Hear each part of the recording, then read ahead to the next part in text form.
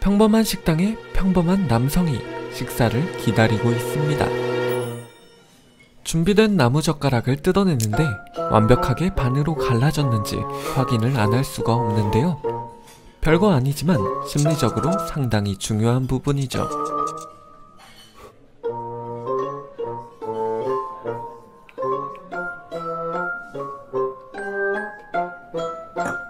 식사를 기다리며 먼저 세팅되는 부재료들이 있는데 얼마나 비싸고 고급진 음식을 먹는지는 모르겠지만 더럽게 깨끗한 척 하는데요.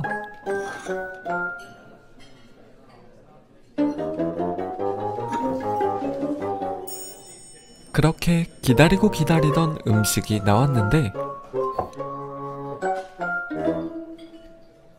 꼴랑 연어 초밥 한 피스 많은 초밥 중에서 제일 보편적이고 저렴한 초밥이죠. 저 초밥 하나를 위해서 너무 과한 준비를 하는데요. 이 정도면 젓가락이 아니라 손으로 대충 집어먹고 끝내는 게 맞아 보입니다. 그런데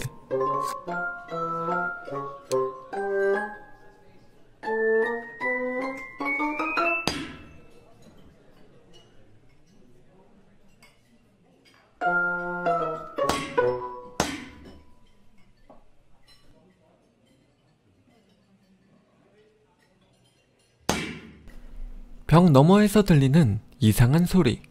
이에 대답해주는 남성인데요.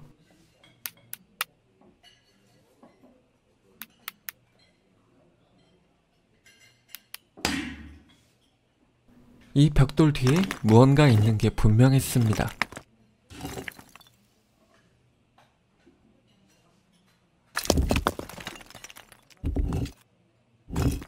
그 소리의 정체를 파악하기 위해 벽돌을 빼내기 시작하는 남성. 그 안에 있던 건 바로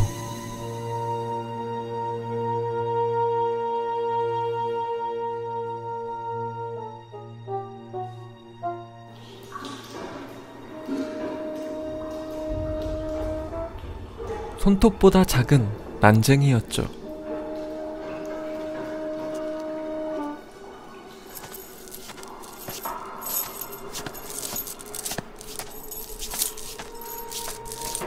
손발이 묶여 제 마음대로 움직이지도 못하고 상당히 초라한 모습을 보이는데 난쟁이가 원하는 건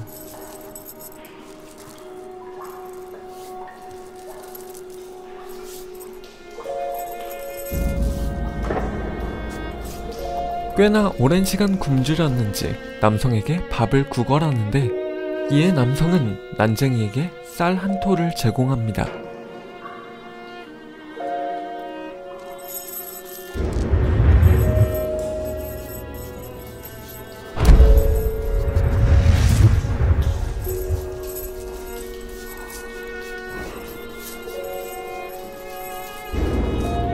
그렇게 쌀한 톨을 받게 된 난쟁이.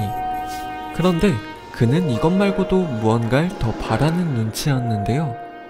하지만 어림도 없지. 다시 벽을 치며 영화는 마무리됩니다.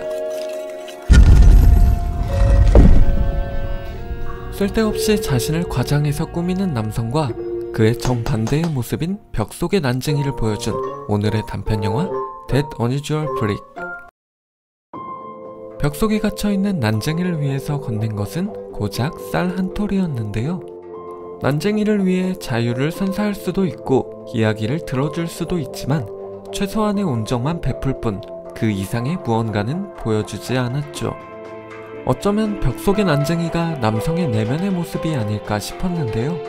식사를 기다리며 여러 가지 완벽한 준비를 하는데 나온 것은 고작 초밥 하나였고 솔직히 자기가 주문한 거라고 하지만 굳이 이렇게까지 하면서 먹어야 하나 현자 타임이 찾아왔을 겁니다. 그렇게 초밥을 입으로 가져가려는 그 순간 벽 속에 갇혀있던 내면의 자아가 반응을 한 거라고 보였죠.